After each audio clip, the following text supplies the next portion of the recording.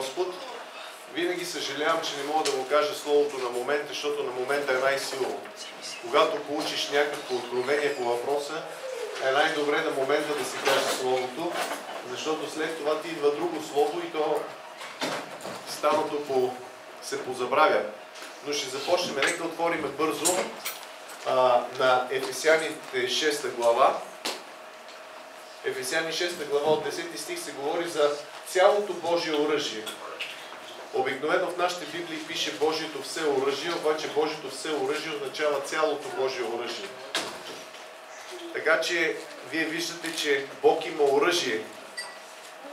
Бог има оръжие, с което трябва да се въоръжиме. Бог има оръжие, с което може да се въоръжиме, може и да не се въоръжиме. Повечето хора казват, а, че Бог ги пази, че всичко е наред, нали? И наистина Бог ни пази, обаче Бог ни заповядва да облечеме цялото Божие оръжие. И когато човек пита, но защо това се случва, защо друго се случва, представете си един войник, който отива на бойното поле по бели гащи. И пита, защо ме, защо ме застигат стрелите, каза. Не ме ли пази Господ? Той те пази, обаче той ти е дал шлем, дай, дал ти е щит, дал ти е меч, дал ти е да се облече с нещо, за да можеш да се защитиш от тия стрели. И някои християни, само защото се наричат християни, смятат, че могат да се разхождат по бели гащи на бойното поле. И след това се чудят защо са наранени, защо тече кръв, защо има рани. Защото християнина трябва да облече оръжието, което му е дадено от Бога, а не просто да стои на закачалка. И ето сега ще говорим за това. така че може да си отворите на Ефесяни 6 глава и ви препоръчвам да слушате внимателно, ако искате да, да сте добре в живота. Не после да се чуеш, що ти се случва това и това. Най-после братя, или най-сетне братя, казва апостол Павел, казва най-после, най-сетне. С други думи, Павел казва, до кога ще ви чакам, не знам. И Павле, ти това нещо го говориш преди 2000 години, обаче днес не е много по-различно положението. Така че още трябва да чакаме Божия народ да се въоръжи. Разбирате ли? Защото Божият народ ходи в голяма степен не въоръжен. Затова църквата губи битките. Защото ние имаме страхотно оръжие, дадено от Бога, оръжието на светлината, но като не сме въоръжени с това оръжие, което Бог ни е дал, ние губим битката. Някой ще каже, добре, дали Бог го е дал оръжието. Значи едно е Бог да ти даде оръжието, друго е да облечеш оръжието. Той го дава, но ние трябва да го вземем. Той дава даром, ние обаче имаме отговорност да го вземем, да го облечем и да воюваме с него. Амин? Добре. Ето го. Най-сетне, братия, бъдете крепки, казва тук, или заяквайте в Господа, казва друг превод, предишния превод, заяквайте в Господа. Заяквайте в Господа, значи заяквайте в духа, не в плата. Заякване в духа. Сега има хора, които дигат гири штанги и заякват в плата, нали?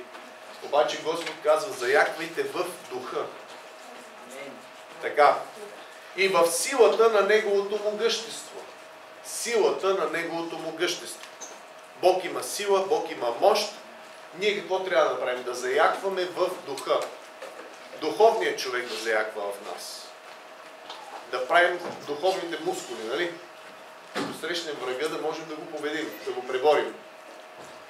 Както беше казал един штангист или културист, отива при един Божи човек и каза, абе, как вика да стана силен духовно? И той каза, ти как стана силен физически? Ами вика с много упражнения. Еми ти го знаеш как става, с много духовни упражнения. Словото, молитвата, упражняваш на дело и става.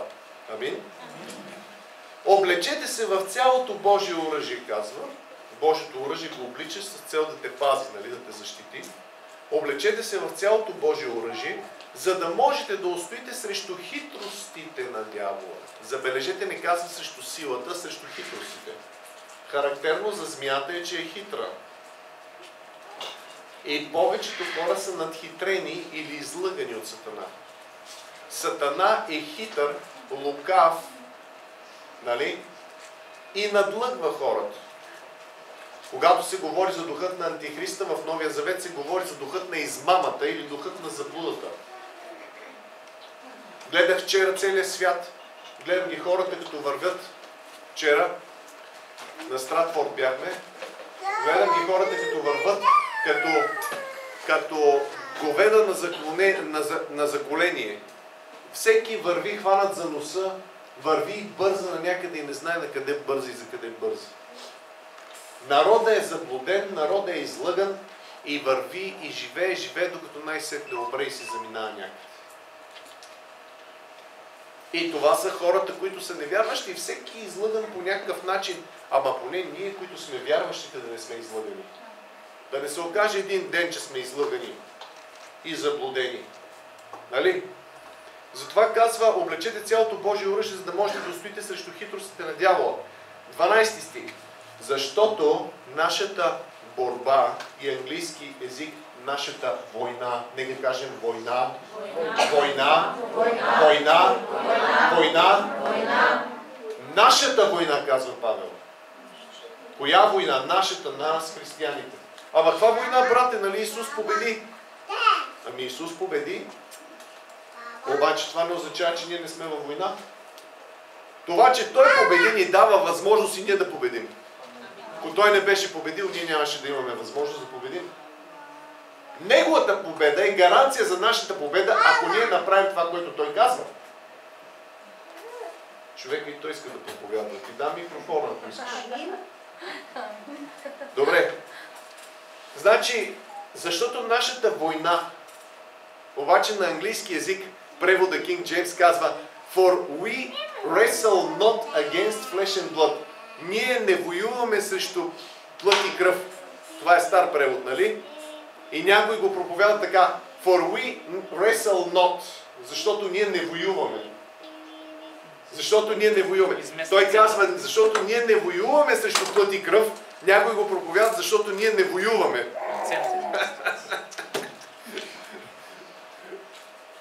Ние се воюваме хората. И аз, и на мини, а мини моята съпруга и на нея ни се воюваше никак. Не щеше да воюва момичето. Много, никак, я обича, мира, обича, всичко било драго, всичко, обаче... Един човек казал, ми хареса тази мисъл, може да нямаш интерес във войната, ма войната има интерес към тебе. така че, щеш, не щеш, трябва да воюваш. Не защото Исус не е победил. Той е победил. Въпросът е, че за да може тази победа да дойде в нашия живот, ние трябва да я вземем и да я приложим. И това е война. Защото ние казва, не воюваме срещу плът и кръв, т.е. не воюва срещу хора, не воюва срещу брата, не воюва срещу сестрата. А даже се обърни и кажи, аз не воювам срещу тебе.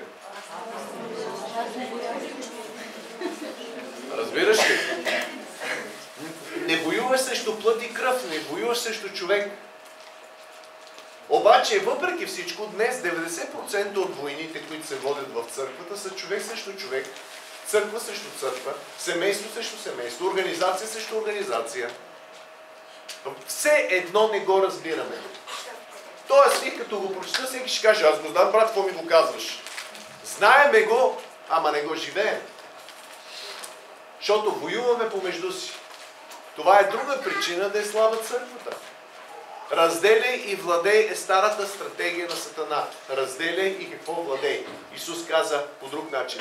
Царство, разделено против себе си, не може да устои. Ако Божието царство е разделено против себе си, ако църквата е разделена против себе си, ако семейството е разделено против себе си, не може да устои. Е, за това не устоява. Ясно ли? Вижте, ние трябва да разбираме стратегията на войната. Врагът е интелигентен и той има стратегия. И внася раздори, разцепления в семейства. Вижте колко семейства се разпадат. Мислите, че случайно ли? Ма това е стратегия, ви приятели. Преди да се разведе семейството, няколко години преди това стратегията е поставена и се е работила по този въпрос да се стигне до развода. И когато се дойде до развода, демоните, които са успели да го реализират, получават награда за това. Успели са. Повишаване в служба. Успели са в своите разрушителни действия. Сега съпругът говори срещу съпругата. Съпругата срещу съпруга. Истината е обаче, че дявола победи и той се радва. Ей, това е. И сега, за това ви казвам, че трябва да се облечеме с Божите оръжие, за да разбираме първо кой е нашия враг. Ние не воюваме срещу плът и кръв, а срещу началства, власти, всесветски управители на тъмнината. Е, тук това най-добре се разбира. Духовни сили на нечестието в небесни места. Подчертайте думата духовни сили на нечестието. Най-ясно ще ви стане. Духовни сили. Тоест, ние воюваме срещу духовни личности, а не срещу личности от плът и кръв. Тие духовни личности не ги виждаме. Това е проблем. Но враговете ни са реални, интелигентни, планират, стратегии правят, разрушават. Каква е стратегията на Сатана? Йоанн 10.10. 10. Идва да открадне, идва да разруши, идва да убие. Три цели. Открадне, убие, разруши. Какво прави? Открадне. Не само пари да открадне. Щастие да открадне. Радост да открадне. Мир да открадне. Единство да открадне. Какво да разруши? Семейство да разруши. Здраве да разруши. Любовта да разруши. Какво да убие? Човек да убие. Колко хора си отиват преждевременно? Малки деца си отиват. Бащи си отиват и майки и оставят сирачета. Това е дело на Сатана. Хората казват, защо Бог го допусна? Въпросът е неправилен. Защо ние го допускаме? Това е правилният въпрос. Защото Бог даде властта на човека. Властта на новородения християнин Давам ви власт да настъпвате на змии и на скорпиони. И власт на цялата сила на врага. И нищо, по никакъв начин, няма да ви повреди. На английски по-добре казано. Nothing shall by any means hurt you. Нищо по никакъв начин няма да ви повреди. Двойно отрицание и на гръцки е двойно отрицание. Нищо по никакъв начин. Някои се страхуват от демоните. Нищо по никакъв начин няма да ви повреди. Но ако не се облечете с оръжието, а ако не се научите да воювате, ще ви повреди. Защото не правиш това, което Господ е казал. Хората отдумват хора, говорят срещу хора, воюват срещу хора и жънат това, което жънат. А ако ние се научиме да воюваме срещу правилния враг, ще имаме победа. Нека да продължа нататък. Значи нашата борба не е срещу плът и кръв, но срещу началства власти, светски управители на тъмнината, срещу духовни сили на нечестието в небесни места. И сега казва. И изброява седем оръжия. Искам да ги видите тия седем оръжия, които ги изброява тук апостол Павел. Това не са единствените оръжия. Мене ме гледайте, много ви моля, не гледайте другите. Това е толкова... А, искам да ви кажа едно нещо. Искам да ви кажа едно нещо да ме чуете. Библията трябва да я гледате по такъв начин. Знаете ли как трябва да разглеждате Библията? Трябва да гледате Библията като нещо, от което зависи живота ви. Не нещо, което трябва да четеш. Това е слабо. Не нещо, което трябва да четеш. Не нещо, което трябва просто да изучаваш. Това е нещо, от което зависи живота ти и на семейството ти. Да не каже на църквата. Това е Библията. И когато се говори Словото, както сега аз ви говоря, вие можете да, си, да се избавите от това, което слушате в момента. Живота си и семействата можете да избавите. Но ако го пренебрегнете, после страдате. И знаете ли, много хора ходят на църква и не слушат. Вярата идва обаче от слушане и слушането от Божието Слово. Затова е толкова важно да слушаш. Да знаеш какво слушаш и да знаеш как да го слушаш. И тук е, какво казва? Апостол Павел изброява седем оръжия и аз искам да ви ги покажа и същевременно ще ви покажа първо оръжията на светлината и след това ще покажа и оръжията на тъмнината. Защото те са контрастни. Първо казва тук Вземете Божието сила, за да можете да противостоите в злия ден и като надвиете на всичко да устоите. Стойте препасани с истина през кръста си, облечени в правдата за броя на градник, но се обути, но се обути с готовност чрез благовестие на мира. Освен всичко или над всичко на английски, вземете щита на вярата или вярата за щит. Щита на вярата. С който ще можете да угасите всички огнени стрели на нечестивия Вземете също шлема на спасението и меча на духа, който е Божието Слово, и молете се в духа по всяко време с всякаква молитва и молба, бидейки бодри в това с неуморно постоянство и моление за всички свети и така нататък. Така, сега тези стихове показват седем оръжия. Номер едно – оръжието на истината. Номер две – оръжието на правдата. Номер три – оръжието на благовестието на мира. Номер 4 оръжието на вярата. Номер 5 оръжието на спасението. Номер 6 меча на духа, Божието Слово, оръжието на Божието Слово. И номер 7 молитва в духа. Седем оръжия тук са ни показани. Истината, номер едно. Какво означава истината като оръжие?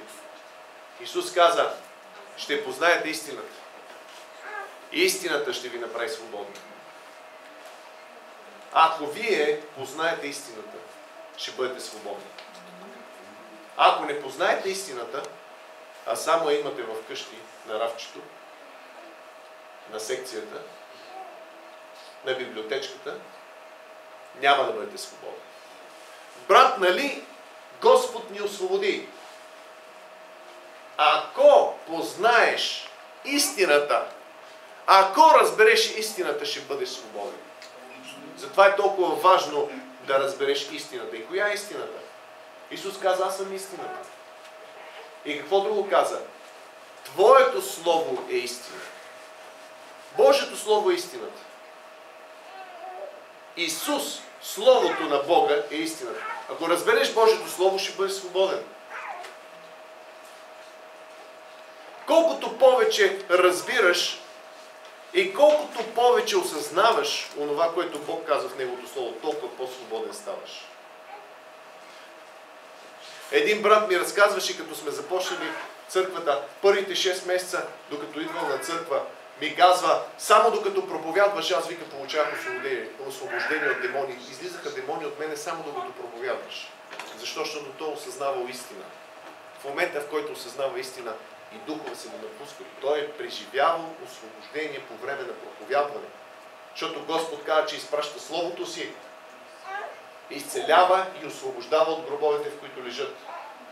Толкова е важно Божието Слово, но не Божието Слово само да го повтаряш, а да го разбираш, да го осъзнаваш, да вникваш в него. Ще познаете истината, истината ще ви направи свободни.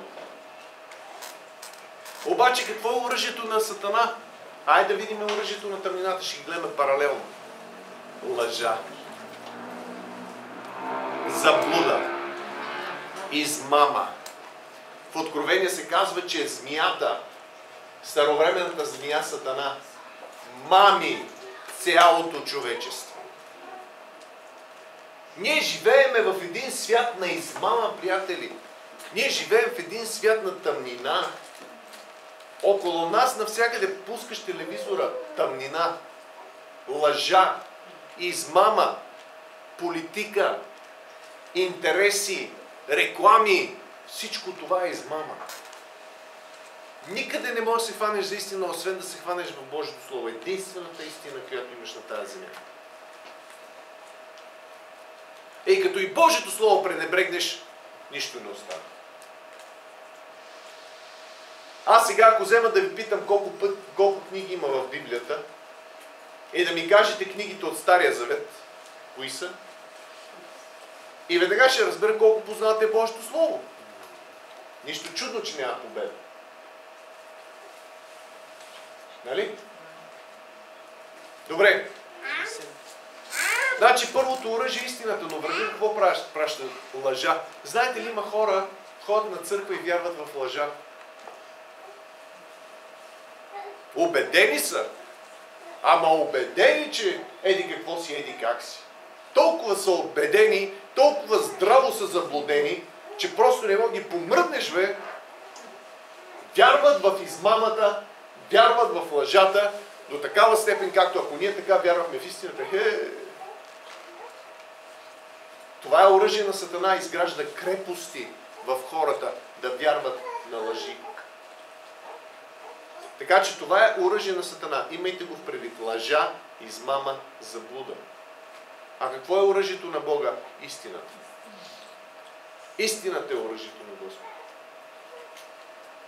Аз даже ще ви дам само един пример. А, още през време на комунизма беше, а, през времето на комунизма, ще ви кажа съвсем обикновен случай, не за, не за някоя доктринална истина от Божието Слово, защото истината е, че Исус Христос е Божия Син, че Исус Христос е нашия Спасител и Господ, който умря за греховете и възкръсна от смъртта, нали? който го отрича, това е лъжец. Но аз ще ви кажа едно нормално нещо. Като бях в економическия университет, нали, учех там, и а, лятно време ни пращаха на, на, на, на бригада. На бригада да ходим да работиме, да вадим лук и такива работи. Обаче брат ти Пламен беше... не можеше много да влезе в рамките на тия работи. Аз тък му бях се така обърнал към Господа. Не мога аз да вляза в тия работи и казвам, аз па няма да отида на бригада. И не отидох на бригада. Прав ли съм бил? Не съм бил прав, разбира се. Трябва да се отиде, след като е редно, трябва да се отиде. Но брат ти Пламен тогава младо момче решава, че няма да ходи на бригада и толкова. И не отивам на бригада. Свършва бригадата, събираме се там. Комсомолския съвет ни събират, комсомолския председател, всичките събират и отчет сега как е минала бригадата. И казват сега, тук викат Пламен Петров, не дойде на бригадата. Искаме да каже тук пред целия клас по каква причина той не дойде на бригада. И ме дигат да каже по каква причина. И аз ставам, ама аз вече съм станал християнин. Ставам и казвам, приятели, аз нямам никаква уважителна причина да не дойда на бригадата. И всички в шах. Казвам, аз нямам никаква уважителна причина, за да не дойда на бригадата. С други думи, аз казвам, аз съм виновен. И чакам присъдата. Те стояха, се чудиха хората и накрая консулската председателка вика, ами аз предлагам да му простим. Разбираш, искам да ви кажа, че истината, ако аз бях ги лъгал и бях казал, бе, имах разстройство, както един беше казал, нали?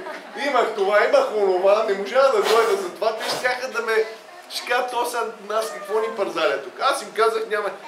Истината е оръжие на Бога. Разбирате? Това е елементарен случай, ви казвам. Добре, нека минем на следващото оръжие. Правда. Правда. Какво значи правда? Правда значи, че Исус Христос е нашата правда. Кой е нашата правда? Исус Христос е нашата правда. Моята правда е Исус Христос. Като дойде дявол и ми каже, аз изпомни ти какво преди, преди 10 години, аз ще кажа, а, какво съм правил преди 10 години ли? Исус Христос е моята правда. Оня, който го е правил преди 20, преди 30 години, той е умрял. Вече го няма. Аз съм нов човек. Моята правда е Исус Христос. Разбираш ли? Защото врагът идва как? С неговото оръжие. Какво е неговото оръжие? Ние казахме за лъжата, но сега второто оръжие какво е? Вина. Има хора, живеят с десетилетия с чувство на вина.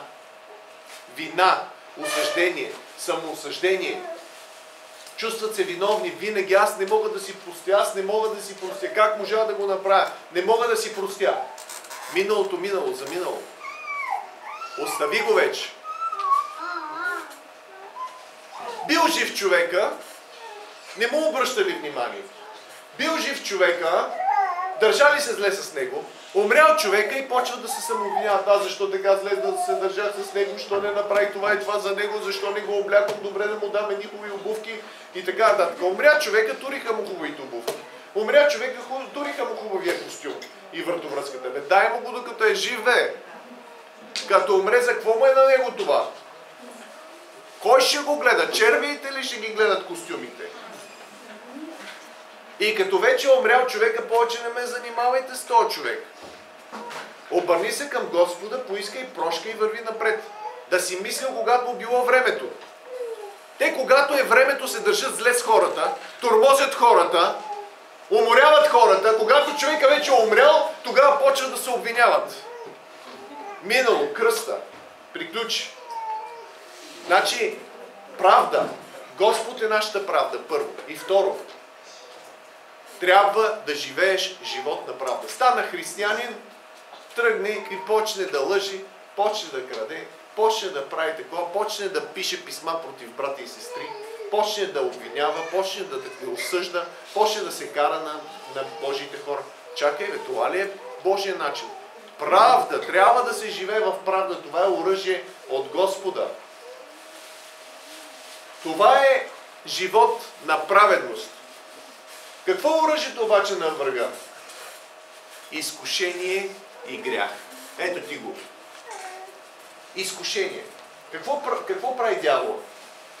Първо идва да те изкуши. Почва да изкушава. А, колко е приятно, колко е хубаво. А, да го направим това нещо. Изкушението идва. После идва лъжата. Ако вземеш да го направиш, няма проблем. Се покажеш след това. Няма проблем. Дай да планираме. Сега ще го направиш греха, после ще се покаеш. Някои брата и сестри така го правят. Планират си греха и планират покаянието. Значи аз ще го направя, после ще се покая. Дето беше разправила една сестра, или там брат ли беше, един служител ще се моли за изцеление и каза, ма чакай, вика, Господ ми открива, че ти блудстваш с а, съседи кой си там. И той каза, а, не, не, не, не, не, вика. Аз всеки път, вика, се покайвам. Значи блудства покайва се, блудства покайва се, блудства покайва се и винаги е покаяно състояние. Значи това не е. Как трябва да кажеш не на греха. Не е просто сал, това не е покаяние. Това са приказки. Бла-бла му казвам това. Покаянието е действие. Покаянието е решение.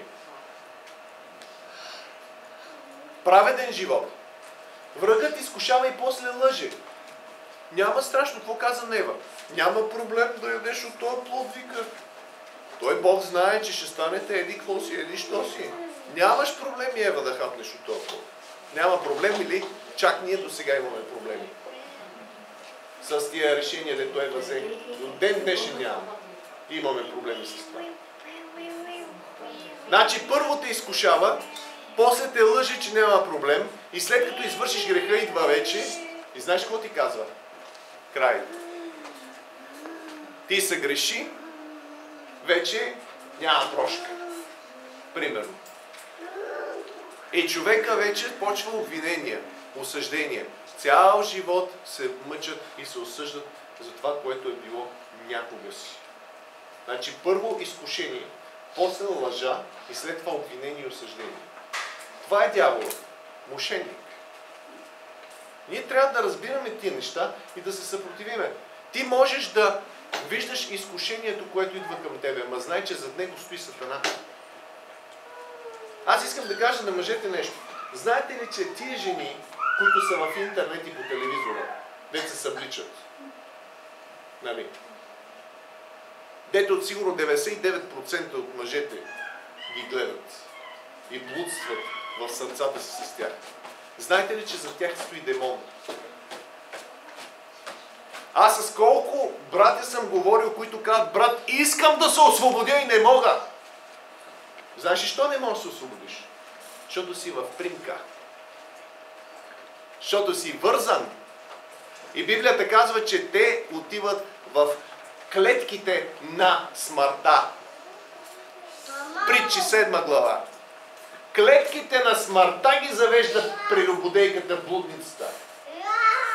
Това не е просто е така, приятели. Съпротивете се до кръв на греха, казва Божието Слово. Говорим за правда и говорим за грях. Не може да има победа над, над Сатана, ако живеем в грях. Църквата с единия крак в греха и след това искаме да победим дявола. Няма победа така. Трябва да има правда и трябва да се отхвърли грехът. Казвам ви, демони. А, демони има.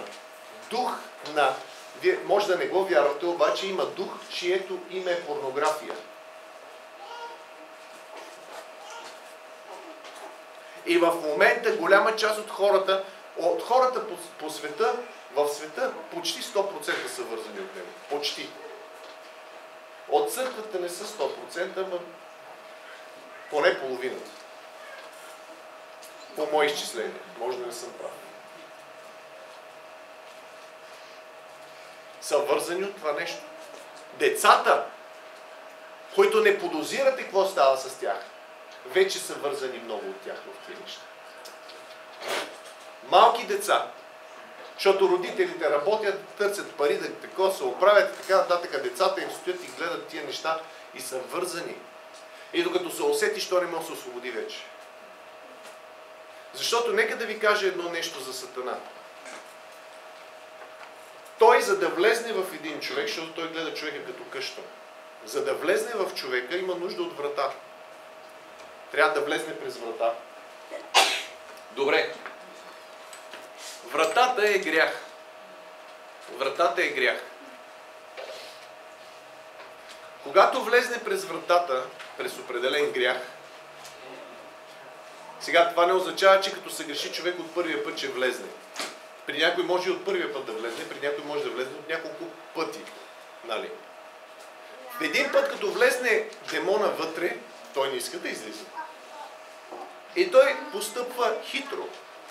Той започва да си прави крепост. Почва да си прави жилище вътре. Но се окупира.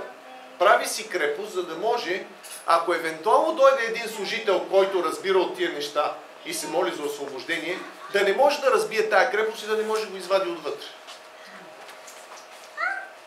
И тази крепост се превръща в така наречения порок. Тоест едно е човек да съгреши. Примерно паднал. Всеки може да падне. Да съгреши, да направи това, да направи това. Едно нещо е да съгреши. Но порока вече е грехът, става начин на живот. Човека вече редовно започва да си върши този грях и свиква с него. И в един момент казва, аз искам да се освободя от него, не мога. Брат, не мога, мъча се. Осъждам се, обвинявам се, не мога да се освободя.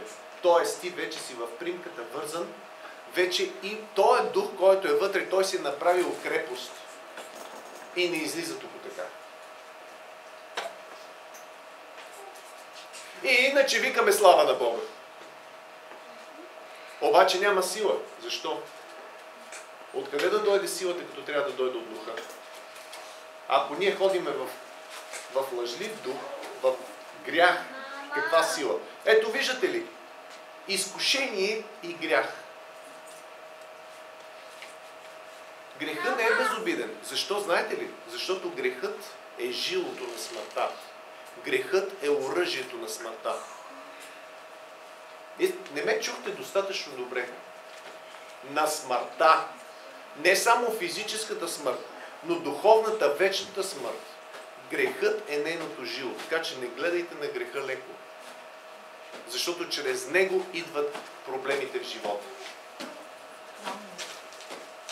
И поради него Сатана има власт в живота на хората, на християните. Така, това е второто оръжие. Казахме истината, а от другата страна ви истината и правдата, а пък при врага има лъжа, има вина и грях и изкушение.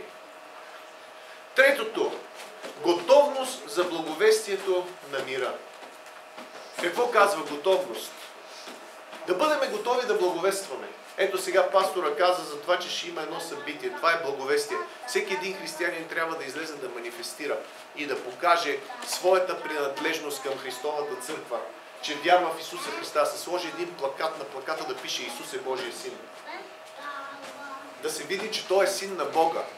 Той не е просто пророк или просто някой си, а е синът на живия Бог. И да има хора, които да застанат и да благовестват с това нещо. Значи, Евангелието, евангелизъм. Знаете ли какво, каква е пък стратегията на Сатана да спре евангелизма? Какво става сега в момента до известна степен в България? 90-те години евангелизъм, евангелизъм. Сега в България, като голям проповедник, дори не мога да си кажа много от него. Няма нищо. Човека проповядва. Те така децата искат да имитират. А, значи какво се получава? 90-те години началото, евангелизации в България, покаяват се, спасяват се хора. Сега какво се прави? Колко евангелизации се правят? В сравнение с онова, смятам, че много, много по-малко. Врагът успя да спре евангелизирането на страната. Сега ще някой ще каже теория, че времето на масовите евангелизации е приключило. Като няма масови, да индивидуални да правим. Ма и това колко се прави индивидуално евангелизиране? Тоест врагът успя да спре до голяма степен да парализира евангелизирането и това му е стратегията. Виждате ли? Готовност за благовестието на мира, а другия какво прави? Неготовност за благовестие. Да не се благовества. Да се запуши устата на християнина да не говори. Сега тук в западния свят какво правят в момента? Нямаш право си носиш кръст. Нямаш право да говориш за Христос. Какво е това?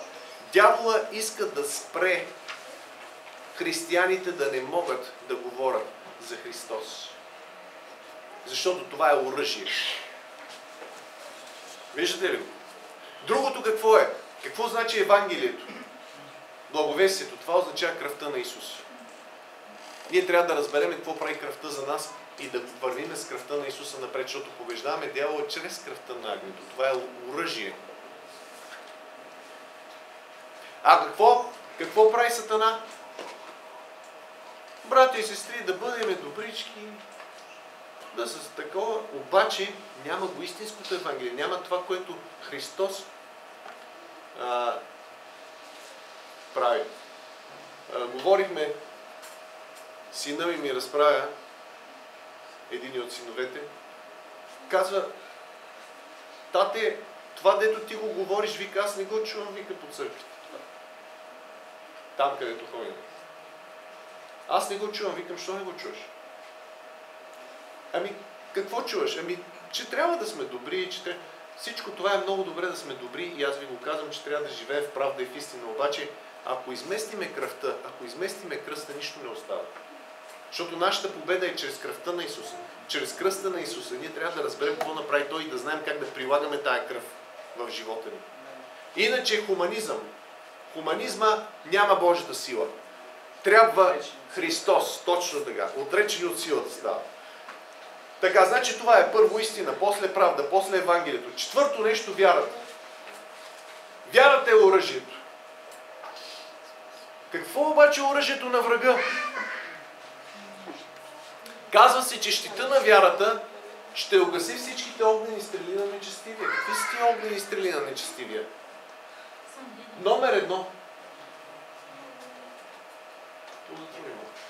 Номер едно огнена стрела може да запишете съмнение. Съмнение. Аз се съмнявам, брат, че това е така. Какво говорим, бе? Аз говоря примерно за това, че хората трябва да се освободят. И знаете ли колко хора са срещу това, което говоря? Знаете ли колко хора ме мразят заради това, което говоря? Какви, какви приказки приказват и какви неща пишат? Ама аз знам, че не са тези демони чрез тях дори така наречени християни го пишат, пишат, лъжат, така на... Защо го правят това нещо? Защото дявола не харесва това, което проповядваме. Хората да бъдат свободни. Не искате да вярват в тия неща. Иска да вкара съмнение. Иска да ги излъже. Да не знаят истината. Най-добрата стратегия на врага е да каже, че няма враг. Няма го врага. Всичко е наред, брат. Кое е наред? Я погледнете какво е. Вижте в църквата какво е състоянието. Вижте в семействата какво е състоянието. Вижте в обществото. Това мислите, че е нормално ли? Това е действие на Сатана. Съмнение. Страх. Оръжие на Сатана. Страх. Друго оръжие. Неверие.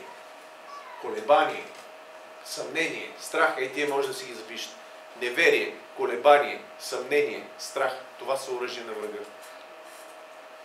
Имаш страх и злото идва в живота ти. Имаш съмнение, отваряш вратата на врага. Имаш вяра, побеждаваш. Затова ние проповядваме вяра. Вярата е Божие оръжие. Съмненията са от дявола. Идва някой да ти вкара съмнение. Брате, той е хубаво се проповядват тия неща, обаче знаеш ли пък тук какво пише? Ето ела, брат, да ти покаже какво пише. Какво казва, вика Исус? Не в, не в Твое ли име ще кажат, изгонвахме бесове, вършихме чудеса, пророкувахме, но аз ще ви кажа, махнете се вие от мене, вие, които вършите беззакони. Ето, виждаш ли тия деца вършили тия неща, отиват в, в ада. И това е пълна лъжа. Обаче, знаете ли колко хора се фащат на тази лъжа? Исус не ги опреква в това, че гонят демони, че вършат чудеса и че пророкуват. Той ги опреква в това, че вършат беззаконие. Ако вършиш беззаконие, казва, каквото и да правиш и чудеса да вършиш, пак ще отидеш в ада. Но това не означава, че ти, които вършат чудесата, ще идат в ада. А това означава, че ти, които вършат беззаконията, ще идат. Обаче 80% от християните вярват, че тези, които вършат чудеса, ще идат в ада. Защото така са ги учили. И те не поглеждат Библията да питат Господи, но това така ли е или не е така.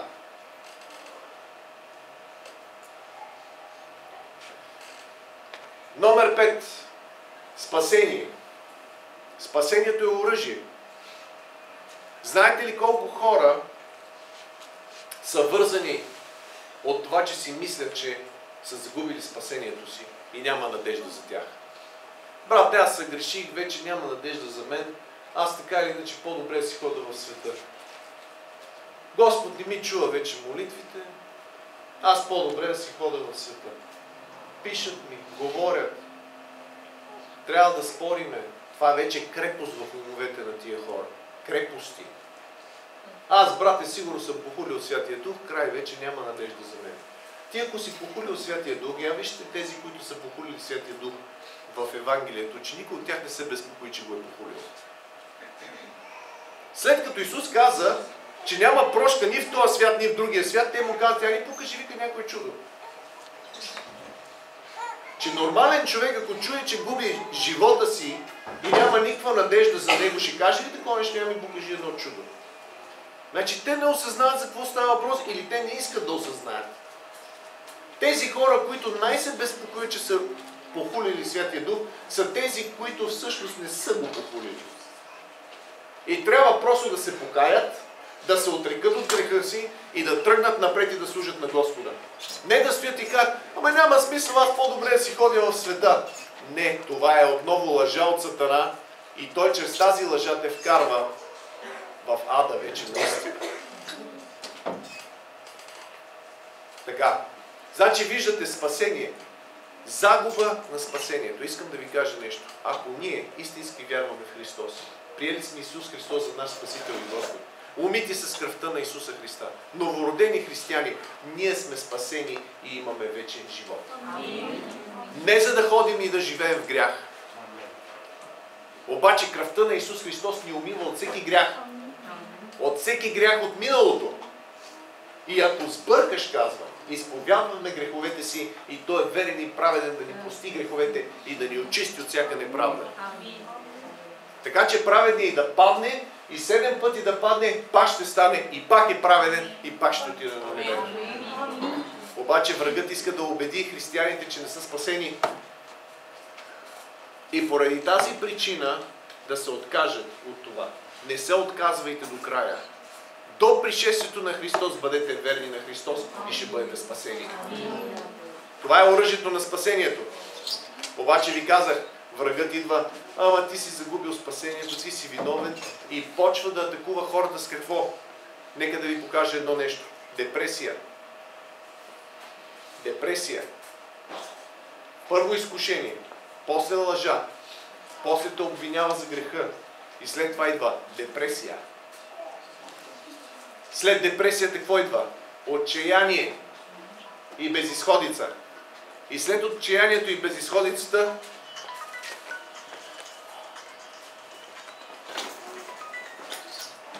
след отчаянието и безисходицата какво идва? Нека да се върна, защото това е много важно. Чуйте го. Изкушение, лъжа, самоосъждение, самообвинение, депресия, отчаяние и безисходица.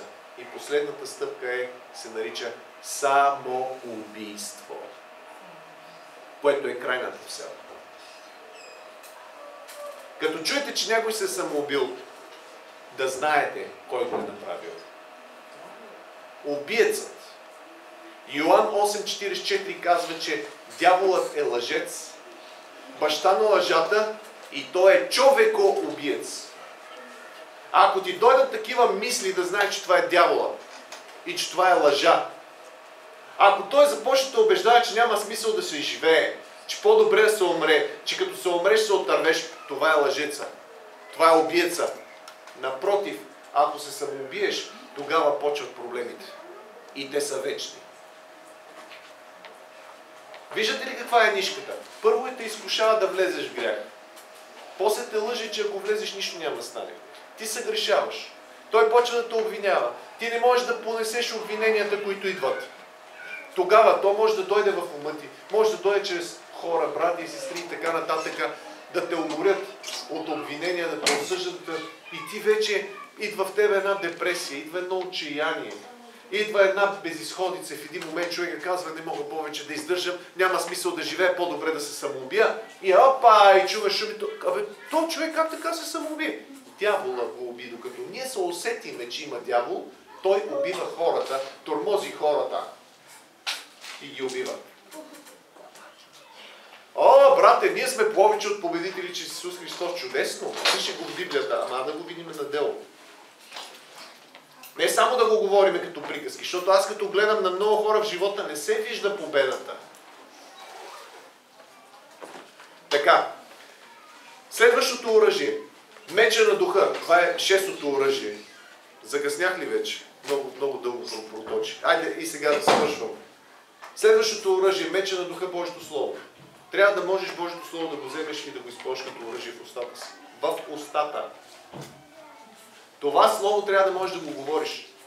Трябва да можеш да застанеш пред огледалото и на себе си да го кажеш. Трябва да можеш на дявола да го кажеш. Джон Остин беше казал, трябва да се научиш да четеш Библията на дявола. Взимаш Библията и като дойде дявола те лъжи, ти му четеш стихове от Библията. Да му кажеш какво е положението. Исус какво направи? Писано е, писано е, писано и по този начин победи дявола. Амин. Библията. Ма как ще използваш, ако не я знаеш? Това е меча на духа. А какво прави Сатана? Отделя хората от Библията. Да не четат, да не изучават, да не я знаят. Ще гледа телевизия, ма няма чете Библия. Ще слуша някой светски музикант, ма няма да чете Библия. Нали? Това е оръжието на врага, да те отдели от Библията. И седмото нещо. Молитва в духа. Молитвата е оръжие. Бомбардираш врага. Какво прави врага? Без молитви. Искате накара да не се молиш. Ето това е оръжие. Да те отдели от молитвата. Това е оръжие. И друго, казвам молитва в духа. Да попречите хората да се молят в духа, да се молят в плътта. Само, че нямам време да обяснявам разликата между молитва в плътта и молитва в духа. Трябва човек да знае как да се моли в духа, а не в плътта. Защото молитвата в Святия Дух е тази, която има сила пред Бога. Да се покланяме с дух и с истина, а не в плът. И много от християните не знаят как да се молят в духа и се чудят изобщо за какво е молитвата. Защото не знаят какво да кажат. Брат, какво да каже, как да го направя?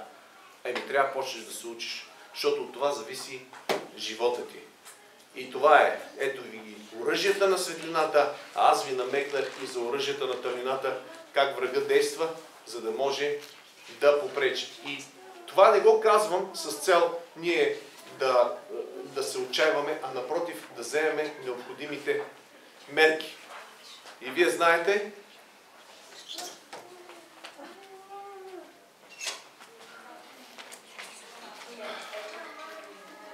Нека се изправим. станем армия. Това е Словото. Който не го е чул достатъчно или го няма тук, в интернет ще го сложа. Ще, ще го слушате Словото и искам, искам от вас, всеки един от вас да, да вземе да стане войник на Господа. Войник. Си вземе оръжието и да стане войник на Господа. Не оплакватели. Не оплакватели. Само реват и, и се отчаиват. Ого, брате, това! Стани един войник, стига вече си ревал. Не сме малки деца. Колко години трябва да сме във вярата? Ела да ни помогнеш, брате. А кога ще станете вие здрави и силни да почнете да си помагате на себе си на семействата и на църквата и на загиващия свят? Господ иска войници. Амин. Амин. А, така. Нека се помолим. Боже, в името на Исус, направи ни войници. Христови войници. Направи ме Христов войник. Научи ме да воювам. Научи ме на военната стратегия. Научи ме на оръжията на светлината. И научи ме да побеждавам врага, който е дух, който е дух, а не плът. а не плът. Да не воювам срещу братя, Да не воювам срещу братя, да не воювам срещу църкви, да не воювам срещу църкви, а да воювам срещу дявола. а да воювам срещу дявола. Да не воювам срещу семейството ми, Да не воювам срещу семейството ми, а да воювам срещу дявола. а да воювам срещу дявола. В името на Исус. Научи ме. Научи ме, Предавам се в ръцете ти. давам се в ръцете ти. Айде всеки един да вземе меча на Духа Божието Слово в ръката си.